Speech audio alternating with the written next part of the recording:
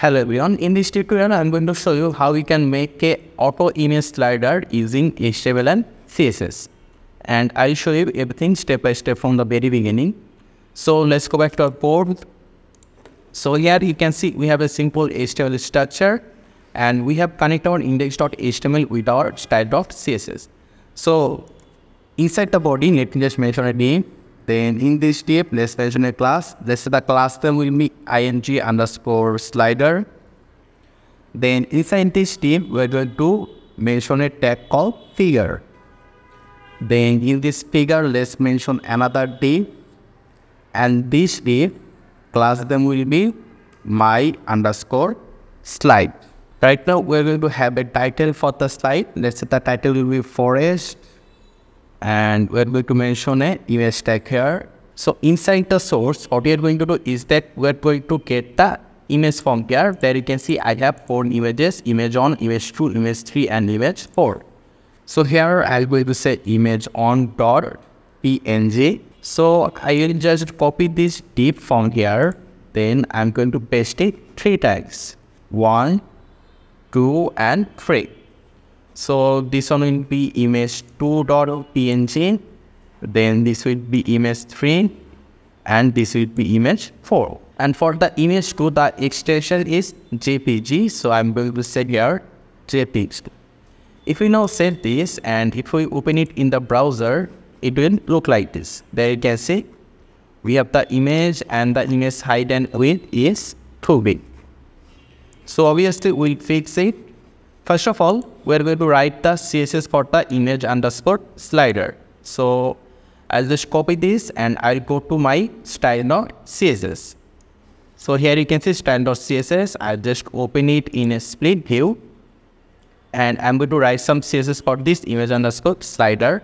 But before that, let me just give a star here and we're going to say padding will be zero. Then margin, it will be zero. Then we're going to give a dot here with saying a slider. And here we're going to say that width will be for the image 100% of our skin. And the height for the slider will be, let's say 500 px. If you now set this, then if we now refresh, if you look like this, and there you can see we can go to the right side to see the full images here so right now let's then fix the image and width. Okay, let me just uh, keep this div over here so that you can see clearly. So let me just write the CSS for the image tag first and this image tag is inside the class called my underscore slide. So I'm going to give a dot we mention the class name, then we'll mention the image tag, take the second bracket, and I'm just going to copy this. The image height will be, width will be 100% and height will be 500 px. If we now save it, then refresh and there you go. So right now we will write some CSS for this tag called figure. There you can see figure tag. So we're going to say here figure, then to second bracket for the figure we're going to say width, it will be 400 percent. Why 400 percent? Because we have four images here. That's why we are saying 400 percent. And we are also going to say here position. It will be relative. Since going to make a slider, and we want the slide to start from the left side. So we say here left zero. If we now save, then refresh here, it will look like this. There you can see. So first of all, let me just uh, hide this slider here at the bottom. So for it, uh, here you can see a slider. We're going to say overflow. It will be hidden. If we now save it, then refresh, there you can see there is no slide here to move our skin. So right now what we are going to do is we are going to write some CSS for my underscore slide. So we say here dot my underscore slide then to second bracket. So first of all, we are going to mention the width. So what will be the width? The width will be 25% of this 400%. So the width is basically 100%. The 25% of 400 is 100. So if we save this and refresh here, you will see the image with the 100% width of the scale. So after this, we need to mention here position, it will be relative and we want to show the image from left to right side. So we want to say here and float, it will be left. If we just set this, then refresh here, um, all the images on the right side basically. Let me just show you. If I just remove this overflow hidden from here, set it and refresh, you will see all the images to be on the right side. There you can see. So we want to show those in a slider way. So for it, uh, let's just keep the overflow hidden here. After that, we'll go inside this figure. Then we'll set here animation. It will be 20 second. After that, we need to mention our class name. This class name, my underscore slide. And we set here infinite. So we want the animation to be last for let's say 10 seconds and it will go for infinite time. So right now we need to write the keyframe for this my underscore slide. So here is we're going to say at the top keyframes. Then we mention this my underscore slide here. Then we need to second bracket.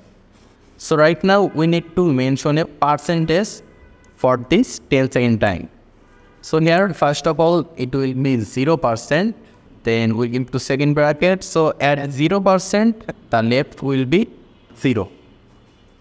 So let me just copy this and I'm going to paste it here, let's say 10 times. On 2, 3, 4, 5, 6, 7, 8, 9 and 10. So let's say the, the iteration between each slide will be 9%. So for here I'm going to say 9. So 0 to 9% will stay left 0. After that we'll say here 18 and this one will be 27. Let me just write the percentage here. So after 27 this will be 36. Then we'll say here 45. Then 54. This will be 63 this will be 72 81 uh, this will be 90 let me just have two more let's say this will be 99 and this will be 100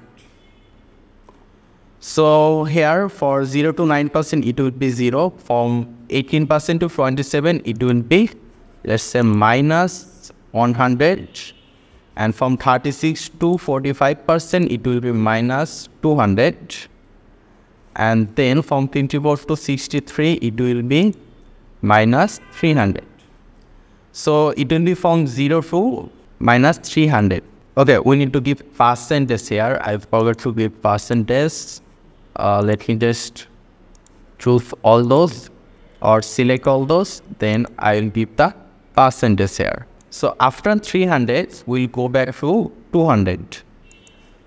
So we say here 200, it will be percentage.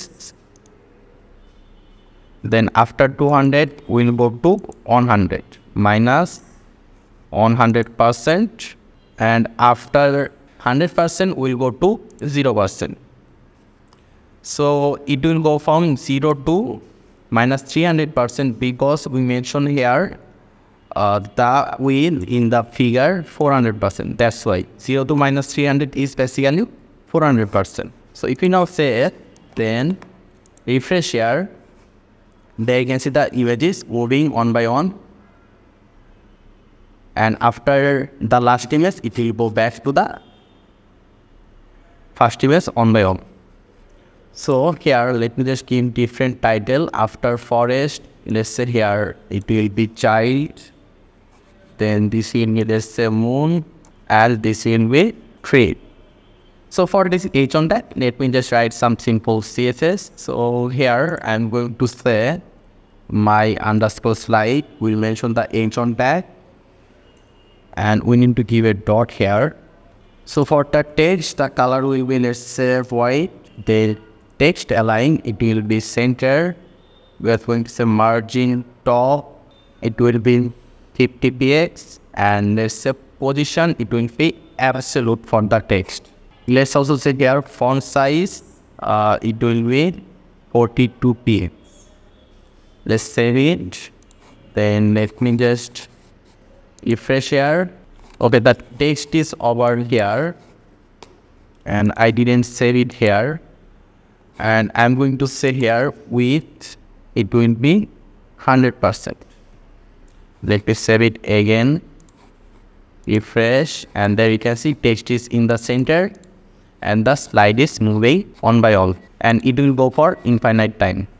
So this is how you can make a simple slider using HTML and CSS and I think the time duration is too small. Let's make it 20 past 20 second save it then refresh and there you go. I think this will be better. So I hope you right now know how to make a simple slider using HTML and CSS make sure to subscribe leave a comment and I hope to see you in the future tutorial